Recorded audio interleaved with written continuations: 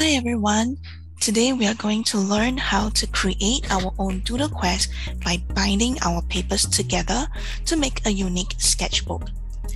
The first thing you need to do when you receive your papers is to fold them into half, like this. Now some papers may not be of the same size, but that's okay. We will trim them to a similar size later.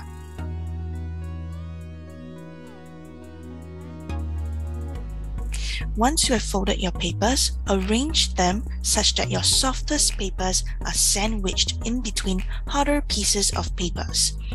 And so you can see here, I made sure that there are hard pieces of papers in front of my soft papers and behind them. Now you will see that there are extra bits here that can be cut off like this.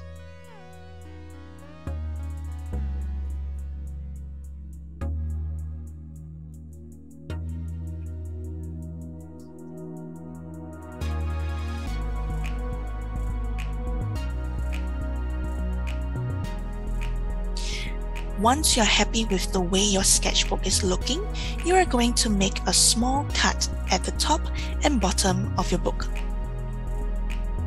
So very carefully, make a tiny small cut in the middle of the papers where it is folded, like this.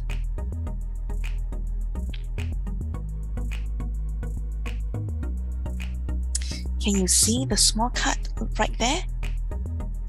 Now the reason why we do this is so that our rubber band will stretch out nicely and the cuts will hold it in place.